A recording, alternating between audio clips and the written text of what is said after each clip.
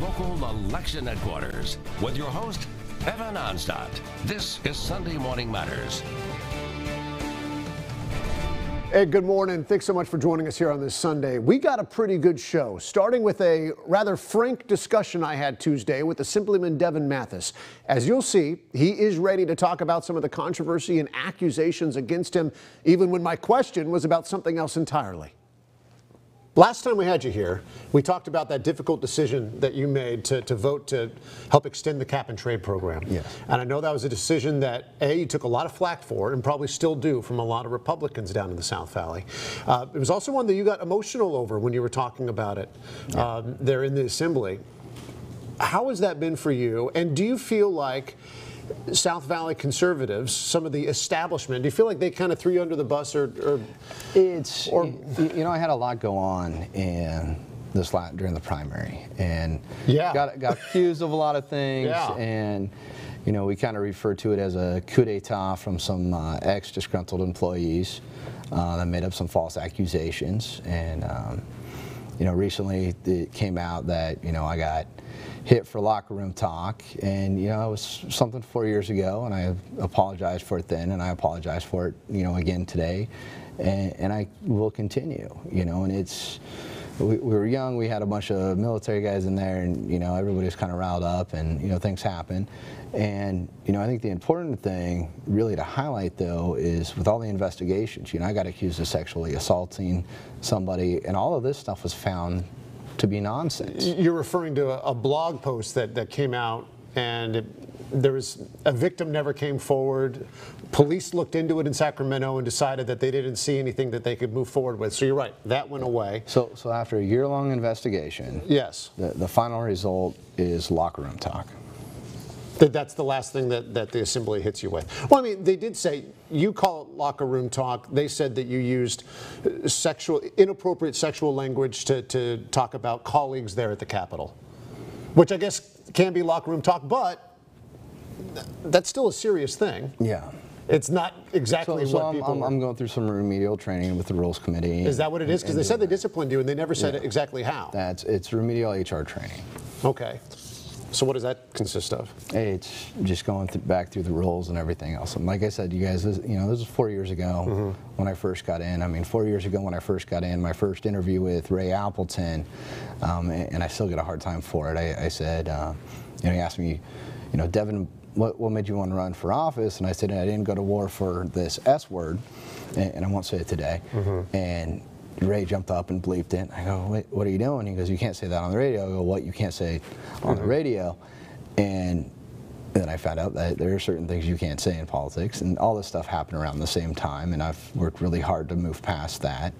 And I mean, again, it's been four years, and we've moved forward, and we've gotten rid of some staff that wasn't a little rough around the edges. And Well, you've had two not- two former staff members sue you within the last year for yeah, a well, couple and, different and, issues. and they're part of. If you look deeper into it, they're part of the stuff that happened with the accusations and stuff like that. with the there's blog links to that. Yeah. Absolutely. No, I, I understand, but I mean, I guess the, the question that people have, you're up for an election here in, in November. Um, they want to know that the person that they're voting for, if they vote to reelect you and put you back up there, is somebody that they can count on. That, that somebody not Oh, absolutely. because you know the ex-staffers, you know, they say that you have a, problems with alcohol, for example. On the record now, would you say that has that ever been a problem? I've, I've had probably five drinks in the last year, and uh, most of those were at my sister's wedding. So Was it ever a problem in the Capitol? It's, I think the Capitol itself just has a big problem. And I think a lot has come out and come to light um, with the Me Too movement. And quite frankly, I mean, I stayed pretty quiet during the whole thing because I knew the stuff that I was being accused of wasn't true. And, you know, all of this stuff is paid for by tax dollars, all these investigations. And, you know, there's some serious stuff going on, and I felt that it was more appropriate for, you know, those women to get justice for what was going on. And I knew with my stuff, it was a political attack from ex-staff. a political attack from ex-staff, but based on the whole movement, things that have happened with you, would you say that it has caused you to look more at your own behavior, introspection, Oh, and maybe absolutely. Have you changed the way that you do look at Absolutely. Yeah. No, we, we've changed a lot with my office, and we've headed in a really positive direction over the last year. Um, and I like where we're going. You know, it's more based back onto the community. Yeah. Uh, we've got a lot of really good community groups being put together. And, you know, I'm, I'm just ready to get back to work and keep serving the 26th district. Well, it's funny. This came up because I asked you about cap and trade and, and, uh, and, and, how the Republicans down the South Valley, because I know that they're weaponizing all these different things. Um, do you think that you're, you've been able to move past that, though? And Oh yeah, I mean, it's, we're, we're, we're moving past that. Um, you know, Senator Vidak had gone against me, and he's Mm-hmm. one of the hosts at one of my upcoming fundraisers. So, I mean, it's things are good. So, what, what's the big issue right now that when you're talking to people, what's the thing that keeps you going that says, yes, I want to keep running for reelection, I want to stay there because this is something that I believe in? I know, for example, the fires are a huge deal right now, and the, the Assembly's trying to figure out what to do with it Oh, yeah. money wise and how to prevent it in the future and all that stuff. Is that something that is keeping you up at night?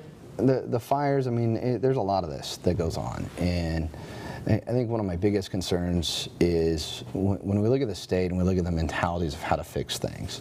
It seems like the democratic process is getting mixed up. It's you know a lot of it. I, I didn't go to war for this. Um, and the answer, unfortunately, that we're getting from the governor and we're getting from the Democrats is that the solution is find somebody to blame and then tax them to pay for a new program. We, we have a record high surplus this year. And so when you look at things like fires, I mean, we, we did a lot of good things in cap and trade uh, to get more money to CAL FIRE and do other things to remove dead trees and, and do a lot of that. And, you know, we did a lot of heavy lifting during those negotiations just for that aspect. But, you know, one of the things coming up, you know, Governor Brown wants to do, it's called Senate Bill uh, 870, and I don't know if you've heard about this, it's the 911 tax. So they want to tax you, it's about $10 a year on your phones Okay. to update the 911 network. Now everybody wants to update Yes. the 911 network. I mean, to, to have a 911 network where you can do video call and, Mm-hmm. and all of that would be outstanding. But But you're saying that there's enough money right now to be able to oh, do that? absolutely. I mean, there's if you But is there enough money to do that? The roads, you know, if the gas tax gets repealed, you know, is there enough money to do all these things? Oh, absolutely. Okay. Absolutely. I mean, if you look at the holes in the budget, um, and, and you look at how these guys do their budgets, Mm-hmm. you know, you still have hundreds of Caltrans vacancies. And, you know, we, we went through this with Assemblymember Vince Fong. Him and I worked on legislation uh, last year to say, hey, we don't need to do the gas tax. Here's the Republican proposal. Here's how we can actually do this. Um, and of course, it was killed.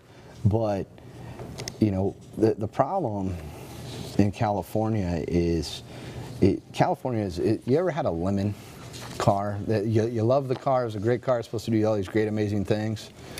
All my cars, sadly, have been very reliable, and I say sadly because they've been all very unattractive. So, so no, I've been lucky. But yes, I know what you're but, talking but, about. But you, you pour money into these things. Sure. And that's kind of California right now. We have these great programs Yeah. that are supposed to do these great things, and we keep throwing money at them, and the program never gets better. Because unfortunately, what, what has come down to is we have programs to manage, Mm-hmm. we don't have programs to fix. And that's what we need, is instead of throwing this money to manage you know what's going on in the forest with wildfires. We could use that money to actually listen to what the foresters are saying, and they're saying go in and harvest these trees out, mm-hmm. pull them out, do these things. Yeah. And we haven't been doing it, and for years we haven't been doing it, and you know unfortunately this is kind of the new norm. And you, you know you can blame it on climate change, you can blame it on whatever you want. That that's the Democrat mantra. Okay. Let's blame it on something and, and find a way to have them pay for a program to manage it. And, and what's happening here is these are our tax dollars. Mm-hmm. And so when you think of something as simple as, oh, well, 10 bucks a month, you know, that's two lattes, you know, but that on top of the But if gas it's 10 tax. bucks here, if it's 10 bucks there, on this top program, this everything pro- else. I, I get, I get what you're saying. All right. The great thing about an election is that we get to have you on. We get to talk about these issues more and more. And so Oh, yeah, I'm looking forward to having you back. Uh, your, your challenger, Jose Sigala, looking forward to having that as well. And, and would love to maybe get you guys together at some point, too, to talk about and debate the Oh, I'm issues. always game for a good debate. Assemblyman, thanks so much for being here. No, absolutely. I appreciate the time as always.